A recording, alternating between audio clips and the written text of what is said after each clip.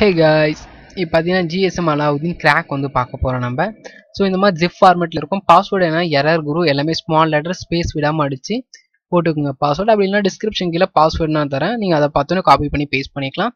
இது நம்மளோட வெப்சைட்டில் போகிறோம் அதை ஈஸியாக வந்து நீங்கள் டவுன்லோட் பண்ணிக்கோங்க. அதோட லிங்க்கும் நான் டிஸ்கிரிப்ஷன் கீழே தரேன்.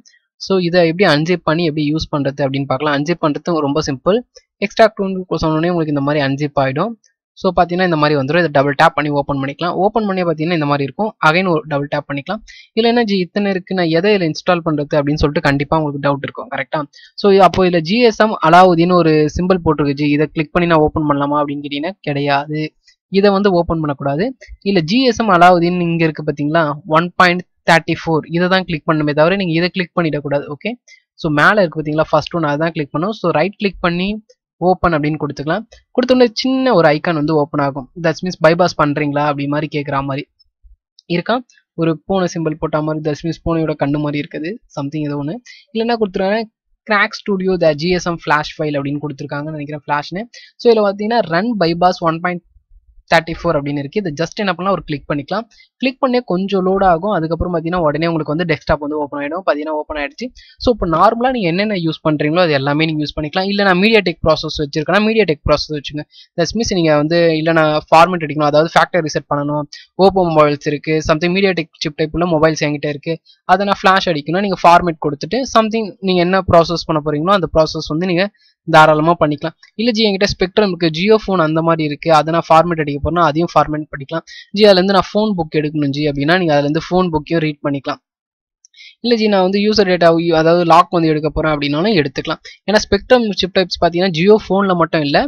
தட்ஸ் மீன்ஸ் என்ன அப்படின்னு சொன்னால் சாம்சங் மொபைலில் கூட ஜத்ரின்னு ஒரு மொபைல் வந்து ஜத்ரோனா ஜத்ரியோ சம்திங் அதில் கூட பார்த்தீங்கன்னா ஸ்பெக்ட்ரம் சிப் டைப் தான். டச் மொபைலுமே ஸ்பெக்ட்ரம் சிப்பை வச்சு வரும் ஓகேவா ஸோ நெக்ஸ்ட் வந்து நோக்கியா மொபைல்ஸ்க்கு நிறைய பேர் தேடி ஃபேக்டரி ரிசெட் பண்ணணும் ஜி. பாஸ்வேர்டு ரீட் பண்ணணும் ஜி. அதுக்கெலாம் இது தாராளமாக யூஸ் பண்ணிக்கலாம். அடுத்தது அதுலேயே ஆண்ட்ராய்டு இருக்கு பார்த்தீங்களா அதை நீங்கள் ஃப்ளாஷ் பண்ணுறதா இருந்தாலும் ஃப்ளாஷ் பண்ணிக்கலாம். சில பேர் இங்கே சாம்சங் வந்து ஆர்டர் செட் பண்ணணும் அப்படின்னு சொல்லுவாங்க. ஸோ அவங்க என்ன பண்ணுவாங்க? போர்ட்டை வந்து அதாவது மொபைலை கனெக்ட் பண்ணிட்டு இல்லை இன்ஃபர்மேஷன் இருக்கு பார்த்தீங்கன்னா இன்ஃபோ கொடுத்தீங்கன்னா போதும். இங்கே வந்து போர்ட் வந்து டிடெக்ட் ஆகிடும் தென் வந்து என்ன ஆப்ரேஷன் பண்ண போறீங்க? ஃபேக்டரி செட் பண்ணீங்கன்னா ஃபேக்டரி செட் இல்லை எஃப்ஆர்பி எடுக்க போறீங்கன்னா ஜி ரீசெட் ஜிமெயில் இல்லை ஃபோன் புக்கை எடுக்க ஃபோனை வந்து அன்லாக் பண்ண போறீங்கன்னா எடுத்துக்கலாம். தென் வந்து கோனு கொடுத்தீங்கன்னா ப்ராசஸ் வந்து ஸ்டார்ட் ஆகிடும். சர்வீஸில் போனீங்கன்னா அதுக்கான ஆப்ஷன் இருக்கும் இந்த ஸ்பிரிண்ட் அன்லாக் பண்ணுறதா இருந்தால் பண்ணிக்கலாம். இல்லை ஃபார்மேட் பண்ணுறதா இருந்தாலும் பண்ணிக்கலாம். இல்லை நெட்ஒர்க் அன்லாக் பண்ணுறதா இருந்தாலும் பண்ணிக்கலாம். இல்லை பாஸ்வேர்டு வந்து ரீசெட் சாரி எஃப்ஆர்பி வந்து ரீசெட் பண்ணுறதா இருந்தாலும் ரீசெட் பண்ணிக்கலாம். ஐஎம் நம்பர் நல்லா இருக்குது அந்த மாதிரி ஃபால்ட்டாக இருக்குனாலும் பண்ணிக்கலாம். இல்லை ஐஎம்ஐ நம்பர் நான் வந்து சேஞ்ச் பண்ண போகிறேன் இல்லை ரீரைட் பண்ண போகிறனாலும் பண்ணிக்கலாம். அது உங்களோட விருப்பம் ஓகேவா ஸோ இப்போ புரிஞ்சிருக்கும்னு நினைக்கிறேன். இதில் வந்து மாஸ்டர்னு இருக்கு பார்த்தீங்களா இதை கூட நீங்கள் யூஸ் பண்ணிக்கலாம். பொதுவாக இது எல்லாத்துக்குமே யூஸ் பண்ணுவாங்க. ஸோ அதுக்கப்புறம் வந்து ஹேவாய் மொபைல்ஸ்க்கும் அவங்க கொடுத்துருக்காங்க.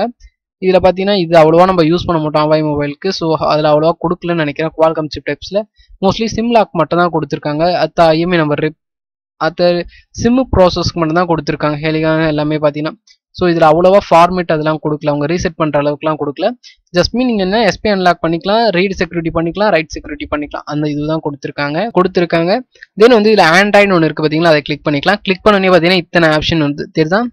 ஆண்ட்ராய்டு ஜஸ்ட் கிளிக் பண்ணி இத்தனை ஆப்ஷன் வருது. என்னன்னா காமன் அப்படின்னு சொல்லிட்டு வருது. இல்லை இன்ஃபோ அப்படின்னு இருக்கு பார்த்தீங்கன்னா இன்ஃபோவில் வச்சுட்டு நீங்கள் கனெக்ட்னு கொடுத்தீங்கன்னு வச்சிங்களேன் உங்களுக்கு வந்து ஃபோனை பற்றி இன்ஃபர்மேஷன் வரும். இல்லை wipe கொடுக்குன்னா wipe data thus means factory set பண்ணுற கிட்டத்தட்ட அந்த மாதிரி தான் வைப்பில் வச்சுட்டு கனெக்ட் கொடுத்தீங்கன்னா உங்களுக்கு தான் ஆகிடும் இல்லை ஜி நான் வந்து ரீபுட் டு ஃபாஸ்ட் மூட் போகணும் அப்படின்னாலும் நீங்கள் போக வச்சுக்கலாம். தட்ஸ் மீன்ஸ் நார்மல் ஃபோன் ஆனில் இருக்குது ஜி. அதில் வந்து ஃபாஸ்ட் ஃபுட் வர மாட்டேது. அப்படின்னா நீங்கள் ரீபுட் டு ஃபாஸ்ட் மூட்னு வச்சிங்கன்னா அது உங்களை ஆட்டோமேட்டிக்காக ஃபாஸ்ட் ஃபுட் மோடு கொண்டு போயிடும்.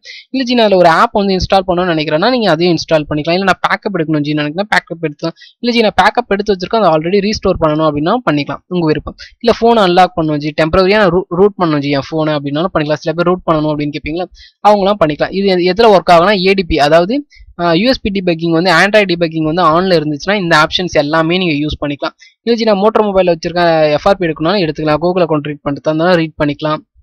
இல்லை கூகுள் லாக் எடுக்கிறதா இருந்தாலும் எடுக்கலாம். இல்லை ரீசெட் பண்ணுறதா இருந்தாலும் ரீசெட் பண்ணிக்கலாம். இல்லை உங்களோட காண்டாக்டை வந்து நீங்கள் பேக்கப் எடுக்கிறதா இருந்தாலும் எடுக்கலாம். இல்லை பேட்டர்னை வந்து ரீட் பண்ணுறதா இருந்தாலும் ரீட் பண்ணிக்கலாம். இப்போ நான் வந்து ஃபாஸ்ட் மோட் மோடில் வச்சிருக்கேன். ஏன்னா மோஸ்ட்லி ஏடிபி மோடு அவ்வளோவா சீக்கிரமாக வராது.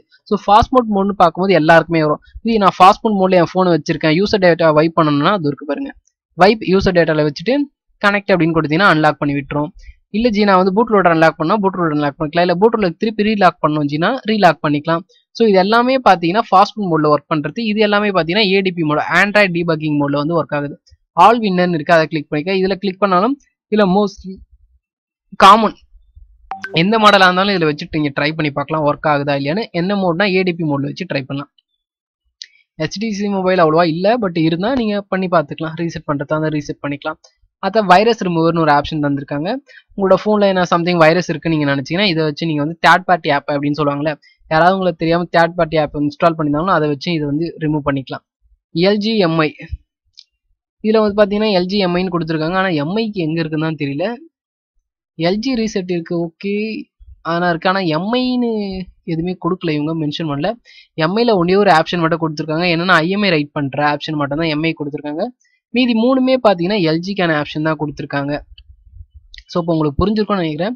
மொபைலை கனெக்ட் பண்ணுறீங்க ஸ்கேன் பண்ணுறீங்க என்ன ஆப்ஷனோ அதை செலக்ட் பண்ணுறீங்க கனெக்ட்னு கொடுக்குறீங்க ப்ராசஸும் முடிக்கிறீங்க. இவ்வளோதான் சிம்பிள் வேலை. ஸோ இப்போ மோஸ்ட் ஆஃப் உங்களுக்கு அலாவுதீனை பற்றி கிளியராக புரிஞ்சிருக்கும்னு நினைக்கிறேன். இந்த டூல் எதுக்காக யூஸ் பண்ணுவோம் அப்படின்னு.